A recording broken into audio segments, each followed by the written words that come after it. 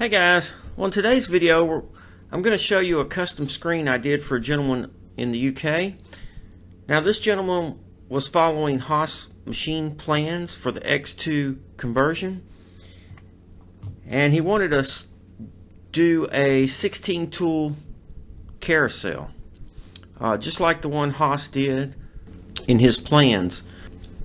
Now those of you who are familiar with HossMachine.info will know that Hoss pretty much pioneered the CNC conversion for the X2 mini mill and took it to extremes. He also converted a G0704, one of the first to do that. And he's posted a lot of information on YouTube as well as the CNC Zone. And he's very well known in the CNC hobbyist world. So this gentleman purchased Hoss plans and created, uh, followed his plans to convert his X2, but he wanted to be able to use any tool number in any slot for his tool change carousel. So he contacted me and wanted a custom screen. So here's what I came up with. Now Hoss used a stepper motor to rotate the carousel as well as an arm and a stepper motor to swing it into the tool change position. Uh, this was how he was able to utilize such a large carousel. And so basically we're going to be doing the same thing here. We just incorporated into one of my screens. So here we have my basic setup screen, uh, the B position, to clear and the B position to load the carousel.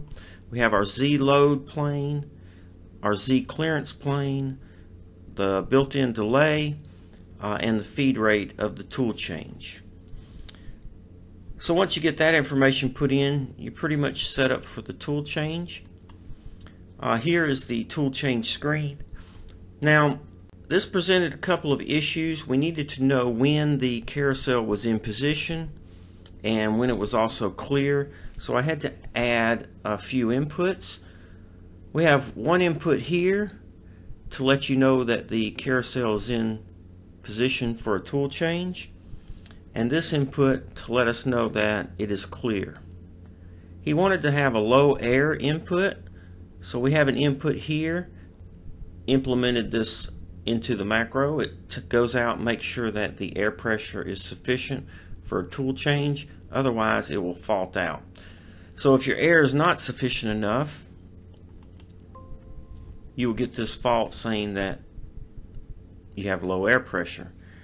However, if the air, air pressure is sufficient, we can click on one of these buttons to load the tool.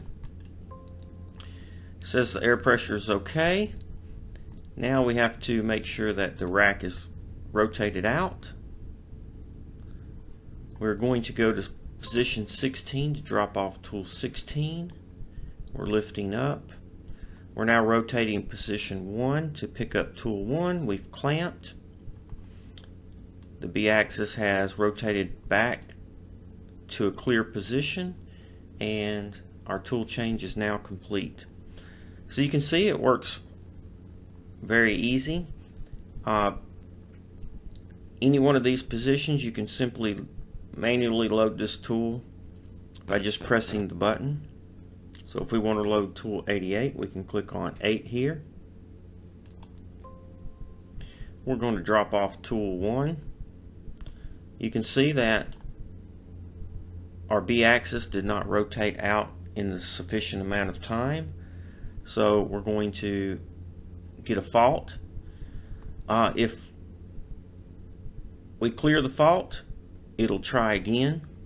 And as you can see we got our input so we're good. We've released the tool. We're now going to rotate to position number 8 and then now the carousel is clear and so we can complete our tool change. So you can see we have built-in faults to make sure that everything is clear before we continue on running G-code. But there you have it just a simple custom screen for a 16 tool rotary ATC utilizing Hoss machine plans. which allows you to use any tool number in any position. If you have a custom screen uh, for your particular build, maybe it's just adding a logo or maybe you would like to have some on-screen inputs, some of your accessories.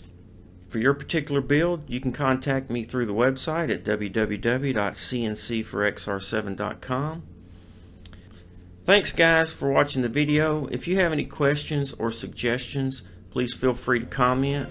Thanks for watching the videos. Thumbs up if you like the video. Please subscribe to the YouTube channel. And most importantly, be safe.